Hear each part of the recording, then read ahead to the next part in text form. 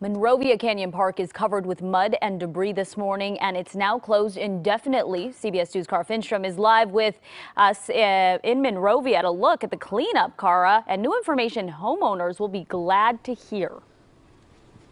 Yeah, just within the last couple of minutes, got off the phone with Monrovia city leaders. They say they are lifting the evacuation warning for those nearby neighborhoods that has been in place.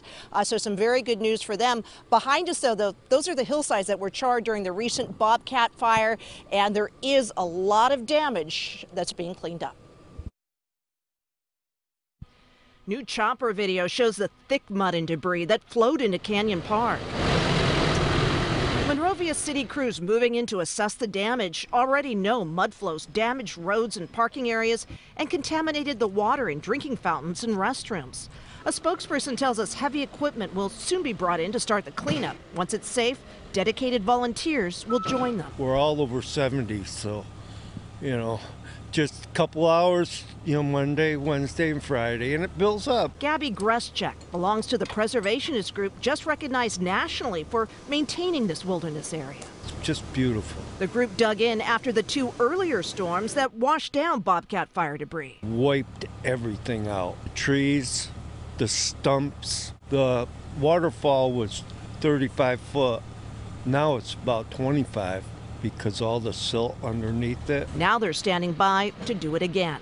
City leaders say fortunately this storm did not trigger damaging mud flows in the neighborhoods around Ridgeside and Oakglade drives where evacuation warnings were issued.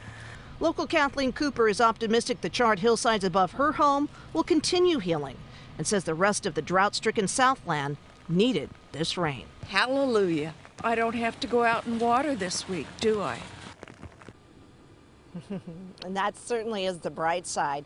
Now, the damage that the park behind us got, that did prompt local officials to declare a local emergency yesterday. That's going to free up some of the resources, the funds they need to do the cleanup. And again, Leslie, we did just get confirmed from local city leaders that they are lifting those local evacuation warnings that were in place for some city uh, neighborhoods. Uh, they say that notices will be going out to all the homeowners who are impacted. That is great news there, Kara. Thank you so much.